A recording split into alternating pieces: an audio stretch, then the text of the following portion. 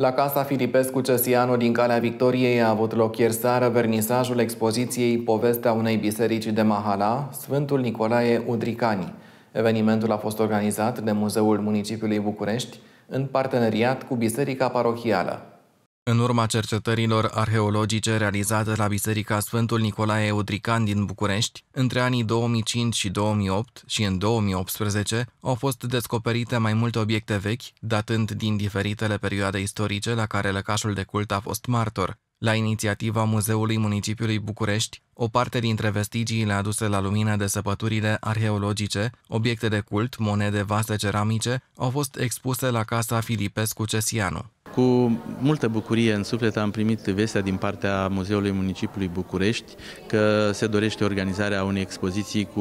obiectele descoperite la uh, săpătura arheologică de la Odricani, începută în 2005, continuată în 2008 și continuată apoi cu o săpătură în 2018 în jurul bisericii, lângă biserică, pe fostul teritoriu de fapt al parohiei Udricani, uh, care din păcate în 1926 a fost expropriată pentru a se crea strada din fața bisericii. M-am bucurat pentru că sunt legat sufletește de săpătura arheologică, de obiectele descoperite la Udricani, săpătura arheologică care a reușit să ducă istoria parohiei Udricani cu aproximativ 200 de ani mai jos. Noi știm că biserica a fost construită de Clucer Udricani în 1734, dar săpătura arheologică a demonstrat că pe sub temelia actuală există o altă temelie a unei biserici mult mai vechi uh, în Mahalaua Popii Isaac la început și apoi Mahalaua Udricani, uh, pentru că a fost uh, o biserică care a influențat